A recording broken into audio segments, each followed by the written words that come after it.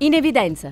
La conferenza dei capigruppo ha definito il prossimo calendario dei lavori. Sentiamo il Presidente del Consiglio regionale Valerio Cattaneo. Abbiamo programmato i lavori dell'Aula e delle commissioni da qui alla cosiddetta pausa estiva che peraltro quest'anno sarà molto più breve rispetto agli anni precedenti.